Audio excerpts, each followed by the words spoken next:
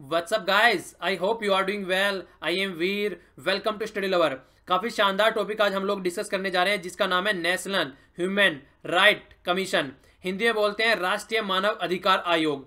हम लोगों ने कुछ दिनों पहले अभी डिस्कस किया था। क्या क्या डिस्कस किया था? उसमें हम लोगों ने एस के लिए देखा था और एसटी के लिए देखा था, जो हमने नेशनल कमीशन देखे थे एससी और एसटी के लिए। उसमें भी वहाँ पर उनके अधिकारों की बात की जा रही थी। पर यहाँ पर ना कोई एससी है, ना कोई एसटी है, ना किसी रिलीजन और ना किसी कास्ट की बात की जा रही है। यहाँ पर बात की जा रही है ह्यूमन की। यहाँ पर बात की जा रही है मानव की।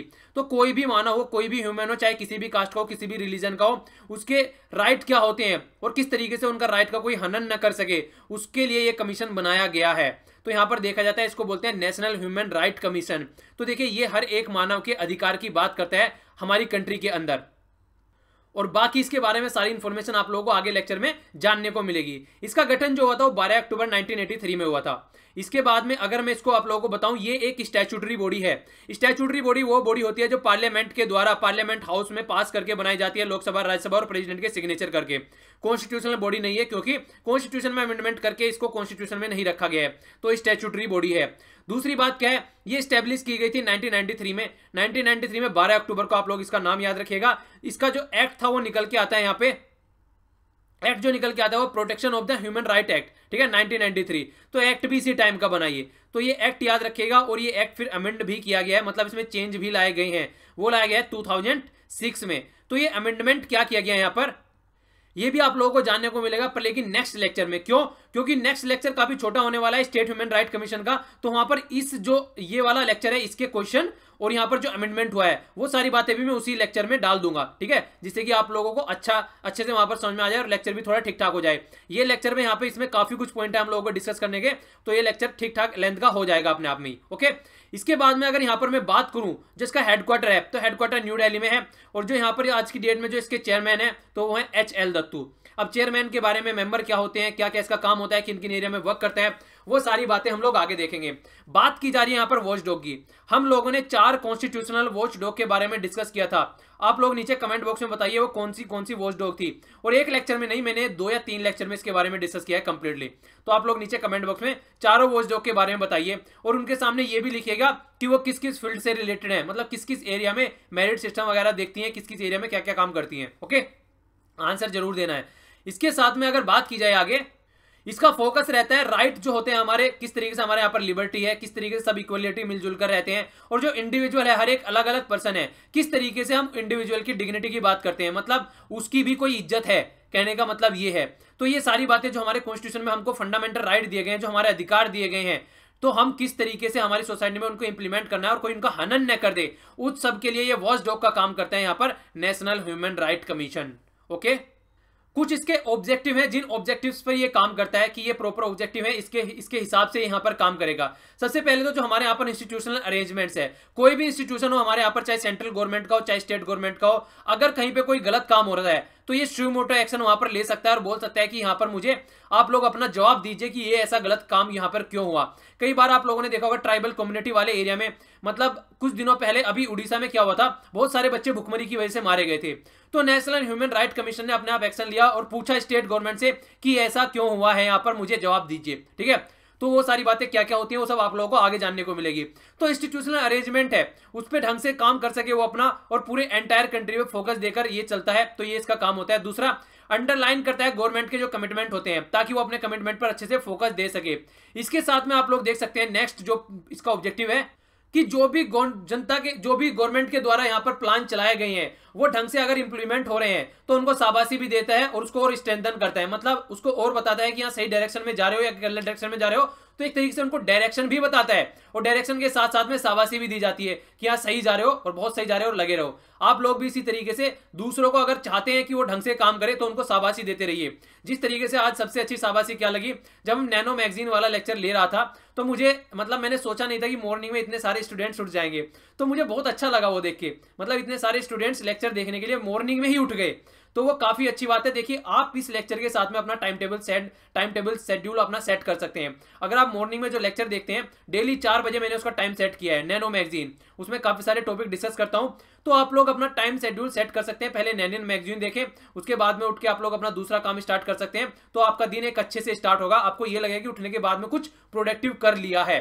तो अपना टाइम टेबल उससे सेट कर सकते हैं मॉर्निंग में उठ के। अगर जिस किसी की आदत इवनिंग में पढ़ने की तो इवनिंग में पढ़िए, ज़बरदस्ती नहीं है। बस ये है कि जिसे आप लोग एग्ज़ाम देने जाते हैं ना मॉर्निंग में तो थोड़ा सा वहाँ पे वो हो जाता है कि बाई चांस आपको जल्दी एग्ज़ाम है तो उठने में प्रॉब्लम रहती है तो थोड़ा सा आप लोग कोशिश कीजिए कि रात को मतलब ज़्यादातर फ़ायदेमंद वही होता है कि मॉर्निंग में अगर जल्दी उठ जाए।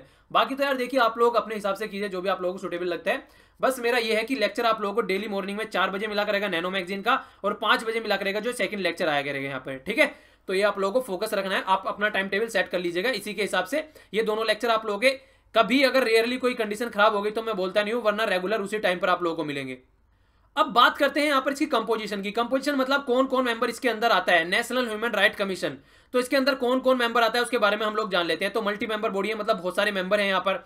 सबसे पहले तो एक चेयरमैन होता है और उसके साथ में चार मेंबर होते हैं। चेयरमैन चार मेंबर तो टोटल कितने हो गए? पाँच हो गए टोटल मिला के यहाँ पर। अब जितने भी यहाँ पर हो गए, उसमें से सबसे पहले चेयरमैन के बारे में बात करते हैं। चेयरमैन को अगर देखा जाए आप लोग तो कौन होगा वो? Retire chief justice of India यहाँ पर चेयरमैन होगा। ये आप लोगों को याद रखना है। बात की जा रही है नेशनल ह्यूमन राइट कमीशन की। इसीलिए आप लोगों ने एच एल दत्तू देखा। एच एल दत्तू जी जो है, वो retire chief justice of India है। तो उनका नाम यहाँ पर आज के डेट में नेशनल ह्यूमन राइट कमीशन में है। ओके अगर मेंबर की बात करूँ तो मेंबर को आप लोग देख सकते हैं क्या हो? या तो सर्विंग या फिर रिटायर सर्विंग भी हो सकता है और रिटायर भी हो सकता है। जज ऑफ़ सुप्रीम कोर्ट सेकंड बात क्या है? सर्विंग या फिर retire chief justice of high court okay justice नहीं chief justice of high court okay इसके अलावा इनमें से जो चार मेंबर हैं, उनमें से दो पर्सन जो होंगे, उनको नॉलेज होनी चाहिए ह्यूमन राइट्स के बारे में, कि क्या क्या ह्यूमन राइट्स है। अगर हमारी कंट्री की बात करी जा रही है तो इंडिया में, या फिर अगर वर्ल्ड की बात की जा रही है तो बाहर में। तो जहाँ भी जो भी ह्यूमन राइट्स कमी जो भी ह्यूमन राइट्स से रिलेटेड जो भी इशू रहते हैं, उनकी स्टडी की जाती है इन दो मेंबर के द्वारा, और फिर उसी हिसाब से अपने प्रोग्राम इंप्लीमेंट किए जाते हैं ओके इन एडिशन। ये तो हो गए, ये तो ये मतलब चार, ये तो हम लोगों ने देख लिया तो परमानेंट है ये। इसके साथ में यहाँ पर फोर एक्स ऑफिसियो मेंबर होते हैं। ये एक्स ऑफिसियो का क्या मतलब होता है? एक्स ऑफिसियो का मतलब ऐसे होता है, थोड़ा सा आप लोगों को साधारण और सिंपल भाषा में समझाऊँगा। देखिए, मान लीजिए मतलब एक पेरेंट्स है, ठीक है ना? एक मतलब हस्बैंड वाइफ है, और उनको एक बेबी होता है। ओनली एक ही बेबी है और उनको। तो इसका मतलब क्या हो गया? इसका मतलब हो गया ये एक्स ऑफिसियो वारिस हो गया इनकी सारी प्रॉपर्टी का। मतलब बेबी होने के साथ ही इसको प्रॉपर्टी का एक मालिकाना हक मिल गया। ठीक है? तो अगर मान लीजिए ये यहाँ पर chairman of national commission for minority okay chairman of national commission for minority और ये चेयर ये यहाँ पर national commission of SC national commission of ST और नेशनल कमीशन ऑफ़ वुमेन ये दोनों में अच्छे से डिस्कस कर चुका हूँ। दोनों पे लेक्चर है एक एक लेक्चर है दोनों के ऊपर और काफ़ी इंपॉर्टेंट है। तो आप लोग नीचे सारे लिंक मिल जाएँगे, जितने भी लेक्चर हैं, वहाँ से ढूंढ के इनको देख सकते हैं, ठीक है? तो मतलब क्या है? जो भी इसका चेयरमैन बनेगा, वो ex officio member additional member बन जाएगा किसका? नेशनल ह्यूमन राइट कमीशन का। मतलब एक्स्ट्रा यहाँ पर इसके लिए कोई चूज़ करने की ज़रूरत नहीं है इनको। तो ये बात आप लोग याद रखिएगा। और जो मेन मेंबर है, वो आप लोग यहाँ पर देखने को मिल ही रहे हैं। ठीक है? तो ये कुछ एक्स्ट्रा इन्फॉर्मेशन है जो कि आप लोगों के माइंड में कई बार कंफ्यूजन क्रिएट कर देती है तो कंफ्यूजन क्रिएट नहीं होना चाहिए किसी भी तरीके से। नेक्स्ट बात करते हैं अपॉइंटमेंट की। तो अपॉइंटमेंट की जब बात आती है, सबसे पहले चेयरमैन के बारे में देखते हैं, फिर मेंबर के बारे में देखते हैं। तो चेयरमैन की अगर मैं बात करूँ तो प्रेसिडेंट यहाँ पर आता है, ठीक है?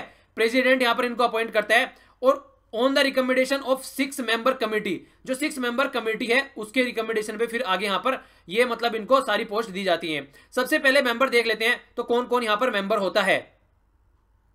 तो पाँच मेंबर तो आप लोगों को यहाँ पर दिख रहे हैं। प्राइम मिनिस्टर हो गया स्पीकर हो गया डिप्टी ये आप लोग डिप्टी चेयरमैन बोल सकते हैं, यहाँ पर राज्यसभा के ये हो गए। इसके अलावा leader of opposition in both the houses both the house में जो लीडर ऑफ़ अपोजिशन होते हैं मतलब दोनों हाउस में अलग अलग हो गए ना तो दो लीडर ऑफ़ अपोजिशन हो गए।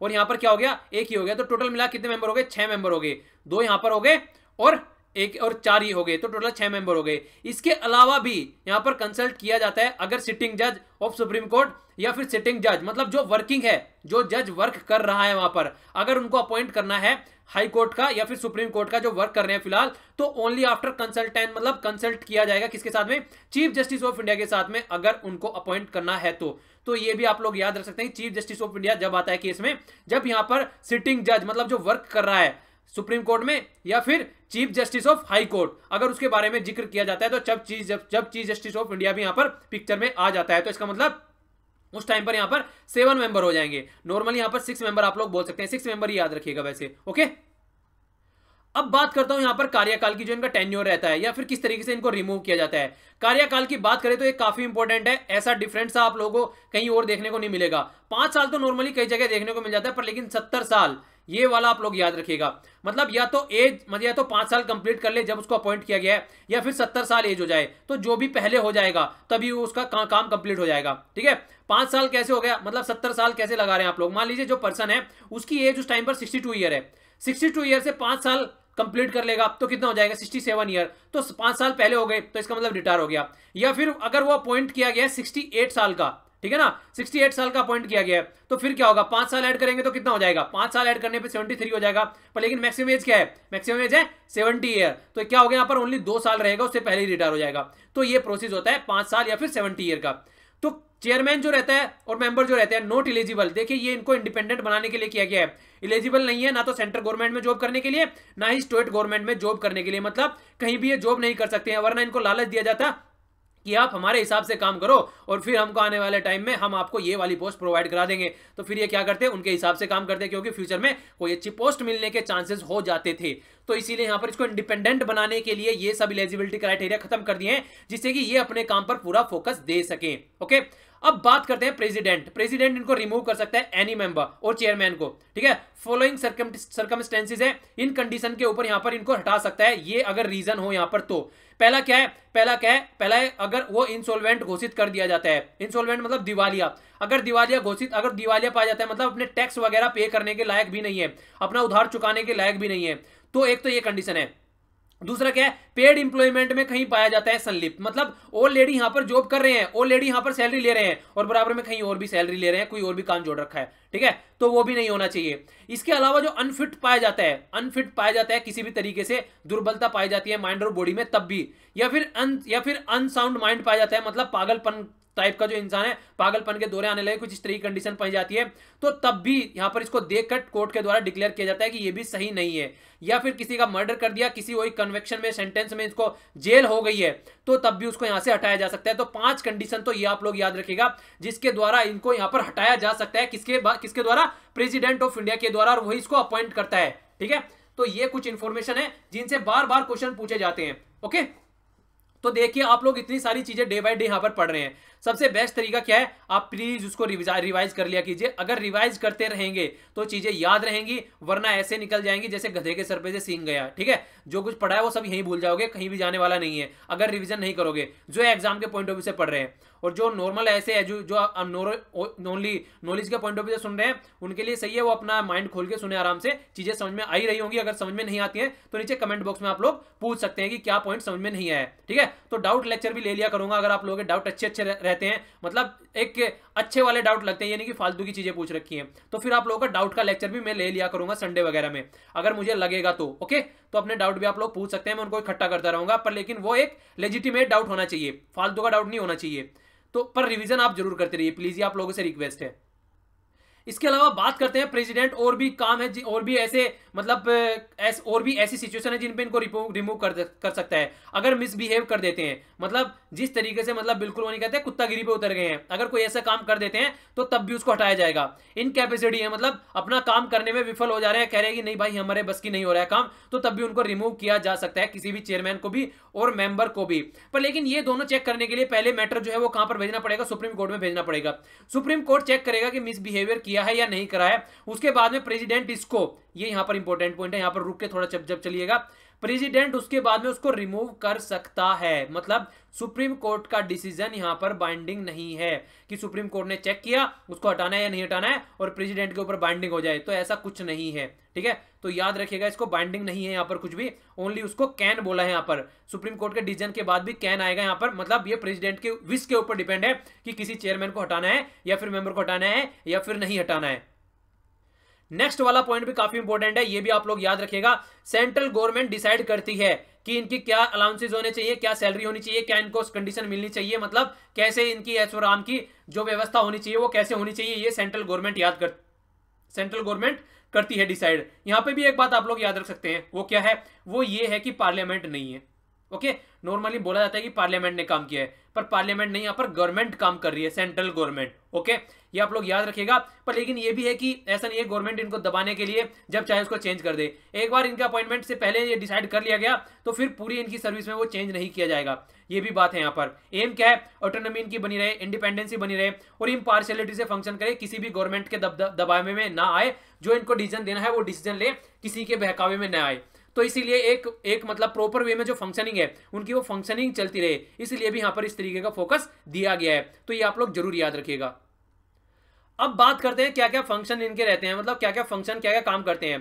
कहीं भी ह्यूमन राइट का, मानव के किसी भी अधिकार का कहीं भी उल्लंघन हो रहा है तो वहाँ पर पिक्चर में आ जाते हैं। इसके अलावा, अगर नेग्लिजेंस देखने को मिलती है मतलब कोई ऐसा काम हो गया जिसको प्रिवेंट किया जा सकता था। आप लोगों ने देखा होगा, कई बार न्यूज़ में ऐसा आता है कि आई से रिलेटेड मतलब आँखों को ठीक करने के कैंप लगाए गए, पर लेकिन बहुत सारे अंधे हो गए। तो वहाँ पर उनको बचाया जा सकता था। इसी तरीके से और भी कई सारे केसेस आते हैं जो मतलब कैंप लगा के किए जाते हैं और वहाँ पर उनको फिर अच्छे से सर्विस नहीं प्रोवाइड कराती है। तो वहाँ पे वो सर्विस अच्छे से प्रोवाइड कराई जा सकती है, पर लेकिन उनको नहीं मिली।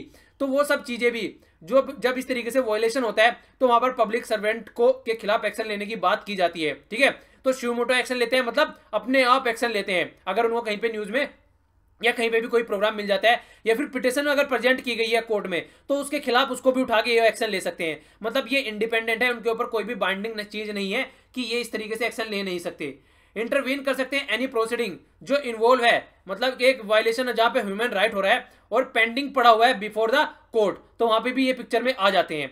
इसके अलावा जेल वगैरह में भी ये घूमते हैं, जेल में जाकर देखते हैं कहाँ पर क्या गलत काम हो रहा है। तो वहाँ पर भी उनकी देखिए, आखिर जेल में कोई इंसान अगर बंद है, मान लीजिए कुछ भी करके गया है, पर है तो इंसान ही ना, उसको जानवर की तरीके से थोड़ी ना ट्रीट कर सकते हैं, जब तक कि प्रूफ नहीं हो जाता है कि उसी ने गुना किया है। तो तब तक वो बात देखी जाती है।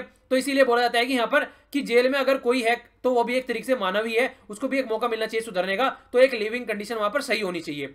इसके अलावा जो कॉन्स्टिट्यूशनल सेफ़ है, बहुत सारे फंडामेंटल राइट्स हमारे कॉन्स्टिट्यूशन ने प्रोवाइड दे रखे हैं। अगर किसी भी इंसान को फंडामेंटल राइट नहीं मिल पाते हैं तो भी ह्यूमन राइट कमीशन यहाँ पर पिक्चर में आ जाता है। या फिर कोई सेफ़ गार्ड दे रखे हैं, बच्चों से रिलेटेड या फिर महिलाओं से रिलेटेड या फिर बुज़ुर्ग जो होते हैं उनसे रिलेटेड तो तब भी ह्यूमन राइट कमीशन जो होता है यहाँ पर पिक्चर में आ जाता है ओके इसके अलावा अगर इंटरनेशनल ट्रीटी कोई है मतलब दूसरी कंट्री के साथ में हमारा कोई भी किसी भी तरीके से रिलेशन है, वहाँ पे कोई ह्यूमन राइट का इशू आता है तो तब भी ये पिक्चर में आ जाता है, उस टाइम पर भी ये स्टडी करता है, देखता है चीज़ों क्या सही है, क्या गलत है, तब भी यहाँ पर ये अपना एक्शन लेता है। इसके अलावा ह्यूमन राइट अगर ह्यूमन राइट की बात आती है तो ऑल ओवर वर्ल्ड में देखता है कि कहाँ पर क्या क्या वर्किंग चल रही है और खुद का भी रिसर्च करता है। और जो अच्छी चीज़ें होती हैं हमारी सोसाइटी के लिए, उसको फिर गवर्नमेंट को रिकमेंडेशन करता है कि यहाँ पर आप लोग ये चीज़ इंप्लीमेंट कर सकते हैं, इससे यहाँ पर ये सोसाइटी को ये फ़ायदा हो सकता है। तो वो भी काम यहाँ पर ह्यूमन राइट कमीशन करता है। और इसके अलावा देखिए लिटरेसी फैलाता है जो काम मैं कर रहा हूँ यहाँ पर। मतलब आप लोगों को बता रहा हूँ ह्यूमन राइट कमीशन के बारे में। अब आप लोग ने सुन लिया है तो आप लोग चैन की तरीके से इसको आगे बढ़ा सकते हैं। दूसरों को आप लोग बता सकते हैं ये, कि हाँ ये ये ह्यूमन राइट कमीशन के इशू है और आप लोग इस तरीके से मतलब अगर कोई प्रॉब्लम हो रही है तो आप लोग जाकर यहाँ पर तलब कर सकते हैं ओके इसके अलावा जो नॉन गवर्नमेंट ऑर्गेनाइजेशन होती है, जिनको बोलते हैं एनजीओ ठीक है नॉन गवर्नमेंटल ऑर्गेनाइजेशन होती है, उनके साथ भी मिलकर ये काम करता है। अगर कोई यहाँ पर इस तरीके का अगर फंडा पाया जाता है कि नेशनल ह्यूमन जो मतलब जो ह्यूमन राइट है, उनका उल्लंघन हो रहा है और कोई एनजीओ वहाँ पर वर्क कर रही है तो वहाँ पर भी ये पिक्चर में घुस जाता है, ठीक है? तो एक तरीके से आप लोग बोल सकते हैं कि खुला सांड है, जहाँ पर इसको दिखता है कि ह्यूमन राइट का कहीं पर भी वोलेशन हो रहा है, वहाँ पर ये आप लोगों को बराबर में खड़ा हुआ मिलेगा, ठीक है? इसके अलावा क्या बात की जा रही है? इसके अलावा बात की जा रही है, देखिए, एक सिविल कोर्ट की तरीके से काम करता है। क्रिमिनल कोर्ट नहीं, सिविल कोर्ट। जिस तरीके से हम लोगों ने एससी कमीशन देखा था और एसटी कमीशन देखा था, वहाँ पे भी उनको सिविल कोर्ट की पावर दे रखी थी कि वो कहीं पर भी किसी को भी प्रोसीडिंग के लिए एक तरीके से बुलाया जा सकता है, पूछा जा सकता है क्या सही है, क्या गलत है, ठीक है? तो एक जुडिशियल करेक्टर होता है इसमें। इसी तरीके से आप लोग देख सकते हैं यहाँ पर सेंट्रल और स्टेट गवर्नमेंट दोनों दोनों से इन्फॉर्मेशन के लिए ये यहाँ पर बोल सकता है कि आप लोग ये इन्फॉर्मेशन मुझे प्रोवाइड कराइए। इसके अलावा इसका खुद का एक स्टाफ होता है छोटा सा, जो इन्वेस्टिगेट करता है complain related to human right की अगर कोई आती है। और इसके अलावा अगर आप लोग देखें तो ये किसी भी जो हमारी कंट्री में जो इन्वेस्टिगेशन एजेंसी होती है, किसी का भी सहारा ले सकता है केस को सोल्व करने में, ठीक है? चाहे वो सेंट्रल गवर्नमेंट की हो और चाहे वो स्टेट गवर्नमेंट की हो। और इसके अलावा आप लोग देखते हैं, एनजीओ के साथ में तो कोऑपरेट करके चलता ही है। फ़र्स्ट हैंड इन्फॉर्मेशन एनजीओ से उठाता है। मतलब जो वहाँ पर अवेलेबल था कोई पर्सन और उसने वो आँखों देखी, उसके उसके सामने कुछ बातें हुई है। ठीक है? तो वहाँ से जो इन्फॉर्मेशन रहती है, वो भी यहाँ पर अगर ह्यूमन राइट से कोवलेशन से लीड है तो वो भी इसके पास में पहुँच जाती है। बट एक कंडीशन है, यहाँ पर लिमिटेशन वो आप लोग याद रख सकते हैं कि note empower to inquire into any matter after expiry of one year अगर कोई मैटर ऐसा हो गया है कि वो एक साल पहले का है तो उसमें ये अपना हाथ नहीं डालेगा। मतलब आज 28 नवंबर है, अगर कोई अगर कोई मान लीजिए आप 28 अक्टूबर 2016 में कोई केस हुआ था तो तब ये उसमें नहीं जाएगा। विद इन वन ईयर के अंदर अंदर अगर कोई केस होता है तो उसमें ये पिक्चर में आ जाता है। पर एक साल पूरा होने के बाद में ये बात आ जाती है कि अब तक आप कहाँ थे, अब तक अब नहीं दिखा, अब कहाँ से पिक्चर में आ रहे हो ये। तो फालतू के इशू जनरेट हो जाते हैं तो इसलिए इसको थोड़ा अलर्ट भी रहना पड़ता है। तो न्यूज़ वगैरह से इधर उधर से जहाँ से भी इसको इन्फॉर्मेशन मिले, थोड़ा सा अलर्ट इसको रहना पड़ता है जिससे कि कोई इशू ऐसा नया बना रहे। कुछ और फ़ंक्शन है कंटिन्यू में थोड़ा और फ़ंक्शन देखते हैं यहाँ पे। अगर आगे करें इसकी फ़ंक्शन की बात में यहाँ पे तो आप लोगों को क्या जानने को मिलेगा? ये यहाँ पर कई सारी बातें आती है निकल के। एक तरीके से अगर रिकमेंडेशन की बात की जाए गवर्नमेंट या फिर ऑथोरिटी को क्या क्या रिकमेंडेशन देता है? अगर मान लीजिए कोई केस कोई केस हो गया है, उसके बाद में क्या कंडीशन बनती है? देखिए, मान लीजिए अगर कुछ केस ऐसा हुआ है कि मान लीजिए वो इंसान फालतू में फंस गया है तो उस टाइम पे जो अथॉरिटी होती है सेंट्रल गवर्नमेंट या फिर स्टेट गवर्नमेंट या कोई भी अथॉरिटी होती है तो उनको कंपनसेशन देना पड़ता है जो डैमेज हुआ है विक्टिम का। ये उसके लिए उसको रिकमेंड करता है, ठीक है? तो इनिशिएशन करता है प्रोसीडिंग का या फिर कोई भी लीगल एक्शन का, जो भी गिल्टी सर्वेंट है, मान लीजिए कोई भी पब्लिक सर्वेंट है और वो करप्ट पाया गया है, कुछ ऐसा काम कर दिया जिससे जनता को बहुत ज़्यादा नुकसान हो गया है। उसके खिलाफ कोई प्रोसीडिंग होनी चाहिए, कोई भी ऐसा उसके खिलाफ केस चलना चाहिए तो उसके लिए भी ये इनिशिएशन कर सकता है। ग्रांट की बात करते हैं immediate interim immediate interim relief के लिए। मतलब एक इमीडिएट रिलीफ मिल जाए। अगर कहीं पर अर्थक्वेक वगैरह आ गया, फिर कोई इस तरीके का हादसा हो गया, वहाँ पर एक, उसी टाइम पर उसको रिलीफ दिया जा सके। इसके लिए भी ये फोकस देकर चलता है। आगे क्या बात की जा रही है? आगे बात की जा रही है सुप्रीम कोर्ट की। सुप्रीम कोर्ट या हाई कोर्ट को भी अप्रोच किया जा सकता है डायरेक्शन देने के लिए कि आप ये डायरेक्शन दीजिए। मेरी बात ये नहीं सुन रहे हैं। तो यहाँ तक भी इसके पास में पावर है। फ़ंक्शन की अगर बात की जाए, अगर कमीशन के तो नॉर्मली ये रिकमेंडेटरी टाइप के हैं। मतलब फ़ंक्शन ऐसे है कि किसी को बोल दिया ये काम करने के लिए तो ऐसा नहीं है कि उसके ऊपर ये ज़रूरी है, वो उसको करेगा। वो बाइंडिंग नहीं है उनके ऊपर। मतलब मान भी सकता है या नहीं भी मान सकता है। चाहे वो सेंट्रल अथॉरिटी हो, चाहे वो गवर्नमेंट हो। मतलब कोई भी हो, चाहे स्टेट गवर्नमेंट हो, चाहे सेंटर हो उसके ऊपर डिपेंड है, वो मान भी सकता है और नहीं भी मान सकता है। तो ऐसा कुछ नहीं है कि वो मानेगा ही मानेगा। तो रिकमेंडेटरी टाइप का इसका नेचर है यहाँ पर। पर लेक इसके पास में इस तरीके से कोई पावर नहीं है कि ये पनिश कर सके। ठीक है?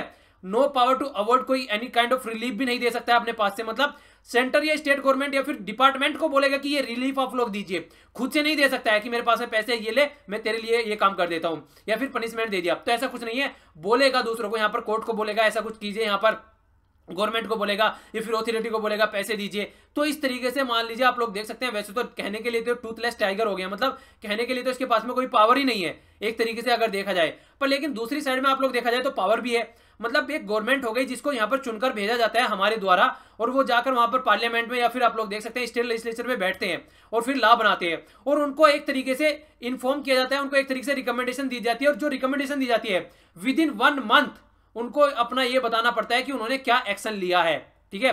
तो क्या एक्शन लिया है, उनको ये बताना पड़ता है। मतलब जवाबदेही है उनकी, जिनको बोला गया है काम करने के लिए, ठीक है? तो आप लोग इसको बिल्कुल पावरलेस नहीं बोल सकते हैं। मतलब उनको कुछ ना कुछ तो रिप्लाई करना ही करना पड़ेगा कि इसलिए इसलिए मैंने ये, इसलिए मैंने ये स्टेप नहीं लिया है, ये प्रॉब्लम हो रही थी। तो ऐसा नहीं है कि बिल्कुल ही कहानी खत्म है। आप बिल्कुल नोटा के साथ में कंपेयर कर सकते हैं। नोटा को आप लोग बिल्कुल बेकार नहीं बोल सकते हैं। क्योंकि अगर किसी एरिया में नोटा की संख्या ज़्यादा हो गई है वहाँ पर वोट में, जब इलेक्शन में वोट डालते हैं तो उस टाइम पर अगर none none of the above वाली संख्या ज़्यादा हो गई कि हमको ऊपर के जितने भी कैंडिडेट है सारी पार्टी के, उसमें से कोई भी पसंद नहीं आ रहा है। तो इसका मतलब कहीं ना कहीं पार्टी के ऊपर क्वेश्चन मार्क लगता है कि कैसे इंसानों को वो टिकट दे रहे हैं, ठीक है? तो हम ये नहीं बोल सकते हैं कि नोटा का कोई काम नहीं है तो नोटा का काम है वहाँ पे, ठीक है? इसी तरीके से आप लोग यहाँ पर इसको कंपेयर कर सकते हैं। वन मंथ के अंदर अगर रिप्लाई करना है तो इसका मतलब इसके अंदर पावर है। ऐसा नहीं है कि हम इसको बिल्कुल पावरलेस बोलेंगे यहाँ पर। पर लेकिन दूसरी डायरेक्शन में अगर हम बात करें कमीशन की, अगर आर्म फोर्स से रिलेटेड कोई बात आता है मिलिट्री आर्मी से रिलेटेड कोई बात आती है, वहाँ पर इसकी पावर थोड़ी लिमिट कर दी गई है। क्योंकि देखिए फ़ंक्शन ही कुछ ऐसे होते हैं, वहाँ पर कई सारे उनको ऐसे स्टेप्स उठाने पड़ते हैं कि ह्यूमन राइट वाले इशू अगर वहाँ पर लेकर चलेंगे तो पता नहीं क्या हो जाएगा। तो वहाँ पर इसकी पावर थोड़ी लिमिट है पावर थोड़ा सा मतलब जुडिक्शन भी थोड़ी लिमिट कर दी गई है, अगर देखा जाए तो। क्या क्या है यहाँ पर? यहाँ पर सबसे पहली बात क्या है? तो कमीशन यहाँ पर सेंट्रल गवर्नमेंट से या फिर आप लोग बोल सकते हैं, किसी भी ऑथोरिटी से वहाँ पर क्या करते हैं? उनसे रिपोर्ट मांग सकता है कि ये इशू ऐसा हुआ है तो आप लोग रिपोर्ट दीजिए। और उनको एक्शन के बारे में जो रिपोर्ट देनी होती है, वो तीन महीने का यहाँ पर टाइम दिया जाता है। वहाँ पर एक महीने का आप लोगों को देखने को मिल रहा है। यहाँ पर तीन महीने का तो थोड़ी छोट यहाँ पर दे दी गई है। ओके इसके अलावा आप लोगों को देखने को मिलेगा, ये एनुअल रिपोर्ट सबमिट करता है। स्पेशल रिपोर्ट आप लोग बोल सकते हैं annual special report central government को भी और स्टेट स्टेट गवर्नमेंट को भी। फिर क्या की जाती है, वो रिपोर्ट जो रखी जाती है, वो लेजिस्लेचर के सामने रखी जाती है और उस पर डिस्कशन होता है। डिस्कशन के बाद में कई सारी बातें निकल कर आती है। क्या क्या चीज़ें उसमें रहती है? अलोंग विद की क्या क्या एक्शन उन्होंने रिकमेंडेशन जब दी थी कौन कौन सी रिकमेंडेशन पे एक्शन लिए गए हैं और कौन कौन सी रिकमेंडेशन एक्सेप्ट नहीं की गई है, ये सारी बातें भी वहाँ पर दी जाती है। तो इसका क्या मतलब हो गया? थोड़ा समझने की कोशिश कीजिए। देखिए, मान लीजिए बीजेपी है आज के डेट में गवर्नमेंट एक साइड में कांग्रेस है अपोजिशन में तो हो क्या गया? अब मान लीजिए नेशनल ह्यूमन राइट कमीशन ने बोला कि मैंने ये रिपोर्ट सबमिट करी है और उसमें मैंने ये रिकमेंडेशन दी थी, ये तो इन्होंने मानी और ये रिकमेंडेशन नहीं मानी, ठीक है? तो वो बातें आ गई और उसका जो रिकमेंडेशन मानी गई, उनका रीजन भी दिया। तो फिर यहाँ पर फिर से जो गवर्नमेंट है, उसको अपोजिशन फेस करनी पड़ेगी। मतलब अपोजिशन बोलेगी कि इन रिकमेंडेशन को आप लोगों ने क्यों नहीं माना, जब ये रिकमेंडेशन सही थी वहाँ पर, ठीक है? तो वहाँ पर भी एक जवाई दे बनती है। तो इस तरीके से आप लोग पावरलेस बॉडी नहीं बोल सकते हैं। नेशनल ह्यूमन राइट कमीशन को वो अपोजिशन के लिए भी दरवाज़ा खोल देता है वहाँ पर जाके कि अपोजिशन भी एक चेक एंड बैलेंस का काम कर सके क्वेश्चन पूछ सके गवर्नमेंट से कि ये चल क्या रहा है भैया, इसके बारे में आप लोग बताइए। तो वहाँ पर भी आप लोग इसको देख सकते हैं डायरेक्ट तो यहाँ पर ऐसा नहीं कह सकते कि बिल्कुल पावर ही नहीं है इसके हाथ में। अब अगर आप लोग किताब उठा के देखेंगे, लक्ष्मीकांत बुक, और उसमें चैप्टर उठा के देखेंगे तो यहाँ पर दुनिया भर के ये इन्होंने डिसीज़न ले रखे हैं, पर लेकिन मैंने सारे इंक्लूड नहीं किए हैं। ठीक है? तो यहाँ पर कुछ मैंने इंक्लूड कर लिया, आप लोगों को पता होना चाहिए। देखिए, ऐसे तो टाइम टू टाइम एक्शन लेता है, ये सारी चीज़ें रटने की नहीं है। पर चार पाँच एग्ज़ाम्पल आप लोग याद रख सकते हैं, उन एग्ज़ाम्पल को आप लोग यूज़ कर सकते हैं। जब भी कोई आंसर राइटिंग कर रहे हैं फिर ऐसे रख रहे हैं तो चार पाँच आप लोग याद रख सकते हैं, और मैंने तो फिर भी यहाँ पर आठ दस ले लिए हैं। ठीक है? तो सबसे पहली बात क्या हो गई? Abolition of the bounded labour की बात की जाती है, बंधुआ मजदूरी की बात की जाती है जब तो उसके ऊपर वेरियस इशू ये आप लोग बोल सकते हैं कमीशन के द्वारा जो आज तक यहाँ पर उठाए गए हैं। तो किसी तरीके से उसको बंद किया जाए okay issue related to right to food देखिए, हर एक इंसान को फ़ूड मिलना चाहिए। भूखमरी के कारण हमारी कंट्री में किसी की भी डेथ नहीं होती, होनी चाहिए। तो ये भी इनके द्वारा जो इशू थे, ये कमीशन के द्वारा उठाए गए हैं। रिव्यू क्या है? इन्होंने चाइल्ड मैरिज अगर चाइल्ड मैरिज की बात की जाती है तो किस तरीके से उसको रिस्ट्रेन करना है? 1929 उसको भी रिव्यू किया गया था। Protection to the conviction of the human right of the on the right of the child ठीक ना? तो इसके मतलब चाइल्ड के राइट के बारे में भी जब बात आती है, वहाँ पर भी इनके कई सारी बातें निकल के आई है। सॉरी प्रोटेक्शन नहीं प्रोटोकॉल की बात की जा रही है यहाँ पर okay protocol to the conviction on the right of the child ठीक है? तो ये भी आप लोग याद रखेगा abolition of the child labour child labour को अबोलिश करने की भी जब बात की जाती है तो उसके बारे में भी ये पिक्चर में आई है।